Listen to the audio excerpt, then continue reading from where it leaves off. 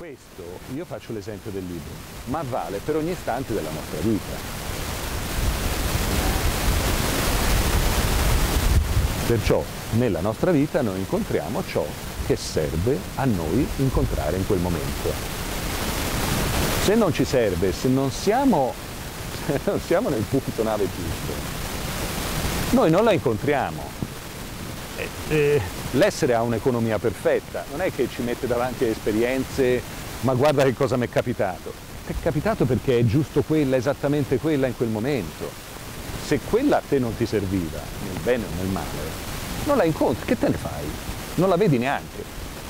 Non, non, non c'è, nella tua esperienza non c'è.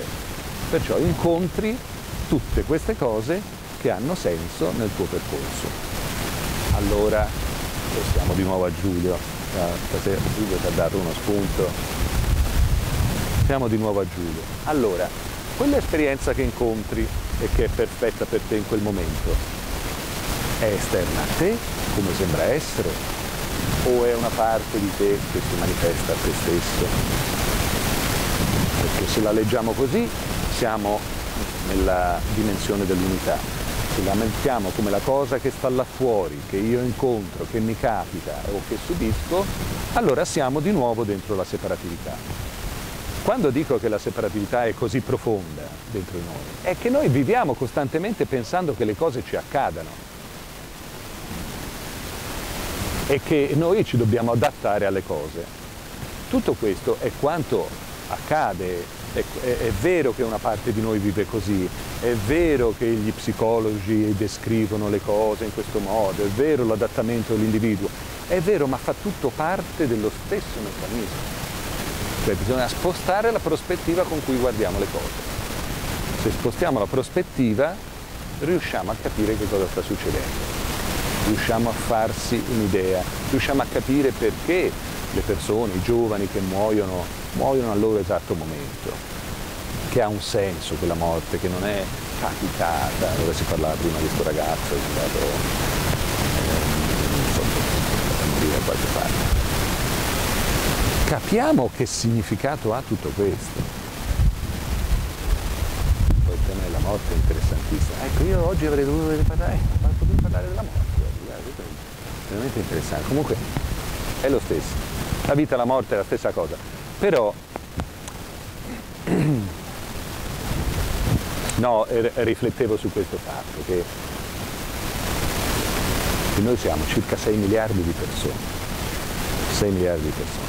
E nell'arco di questa vita tutti e 6 miliardi moriamo tutti. 6 miliardi cioè, qui si fa un gran casino quando uno muore perché ha fatto l'incidente, perché era giovane o perché ha fatto quello, ha fatto quello, o facciamo le cerimonie. Ma dico, ma 6 miliardi di persone nell'arco di 70-80 anni, sono tanti. Eh. Non mi ricordo una volta ho fatto un conto, credo che fossero qualcosa tipo 100.000 al giorno. 100.000 al giorno, cioè oggi muoiono 100.000 persone. Oggi nel mondo muoiono 100.000 persone. Ecco, è esatto, cioè ci rimpiazzano, noi veniamo sostituiti, ta subito. Perché questa cosa? Perché la molteplicità in tutte le sue forme, è, se, se, lo, se lo si vede, è il pullulare della vita dove se ci mettiamo nella prospettiva giusta, insomma tutto quello che succede a noi esseri umani, siamo formichine proprio, cioè cosette. Poi per ognuno per sé, per la propria vita è importante quello che ci succede, combattere, mettere su casa e non ti danno i documenti e come si fa a fare la piscina sotto casa che non mi danno i documenti, il tetto, lo spessore. Sono, se ci pensate bene sono delle boiate gigantesche, proprio, cioè, sì, stavo per dire quello, poi ho corretto, ho corretto e capite, sono cose, se le guardiamo veramente, le guardiamo dalla prospettiva giusta, perdono molto de dell'attaccamento che creano dentro di noi. Eh? Giusta? Ho detto giusta? Dove? Non so perso. Ah, ah, la prospettiva. Cambiamo di prospettiva, ne mettiamo un'altra, un'altra prospettiva. Perché questa ha ragione Giulio, hai sempre ragione però, va bene. Ascolta, è vero perché la prospettiva nella quale noi siamo quando ci sbattiamo per i documenti è, non è sbagliata, è solo un'altra, è solo un'altra. E infatti il percorso nostro è di consapevolezza sulle prospettive con cui guardiamo le cose. Però questo ce lo insegnano anche in effetti se noi guardiamo con un po' più di distacco certi accidenti che ci accadono nella vita, li viviamo un pochino meglio. Questa è una, una cosa basic eh, de, della psicologia, basta che cambi un po' di prospettiva e quella cosa che tu vivi come un grande dolore, la vivi magari sì sempre come un dolore ma insomma un po' meno, insomma cambiano le cose, cambiare la prospettiva.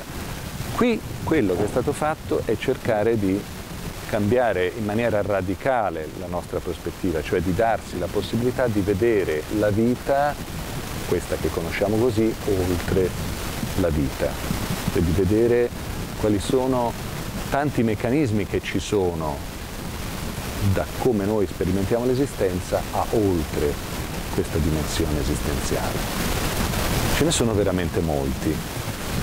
Quello che vi dicevo prima è che noi cerchiamo di focalizzarci su un aspetto e oggi eh, ricordo chi ha, ha, detto ma perché non parliamo un po' delle varianti, che non, non, se ne parla mai in maniera abbastanza approfondita. Ora, le varianti è un aspetto, però qui si entra in una dimensione molto precisa, molto specifica dell'insegnamento.